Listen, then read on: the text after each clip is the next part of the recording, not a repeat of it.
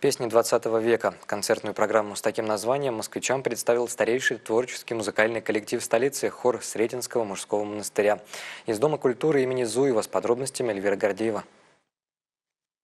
Хор Сретенского монастыря считается уникальным явлением современного хорового искусства и одним из старейших музыкальных коллективов России. Он возник одновременно с основанием монастыря в 1397 году. Перерыв в деятельности хора пришелся лишь на годы гонений церкви в период советской власти. Сретенский монастырь – это очень древний монастырь. А, более шести веков насчитывает история монастыря. Конечно же, все это время, как и во всех монастырях и храмах, и был хор, монашеский, монастырский хор. Но сейчас а, наш а, коллектив несколько не только э, церковным пением занимается, но еще вот какой-то своей интересной э, церковно-культурной просветительской деятельностью. Никон Жила – сын священника, с детства певший в церковном хоре Троицы Сергиевой Лавры, а позже получивший прекрасное музыкальное образование в знаменитой Гнесинке.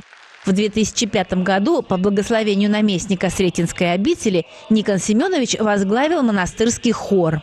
Помимо регулярных служб в обители, этот коллектив поет на торжественных патриарших богослужениях в Московском Кремле, участвует в миссионерских поездках и значимых событиях в жизни церкви, активно гастролирует.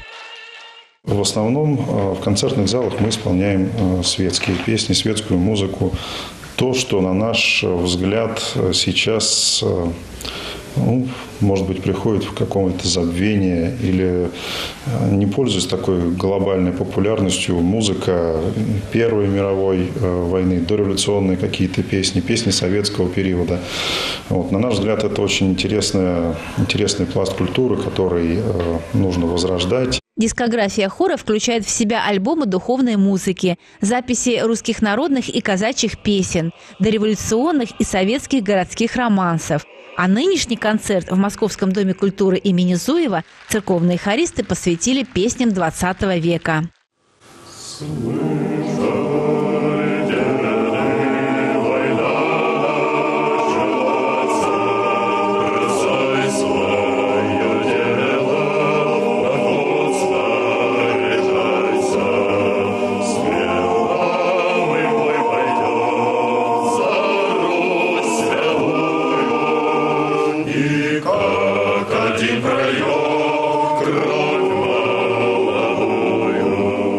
Это песни, а, которые были переделаны в угоду советской пропаганде.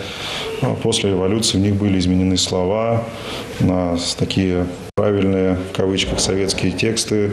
Эти песни известны а, практически по всему взрослому поколению.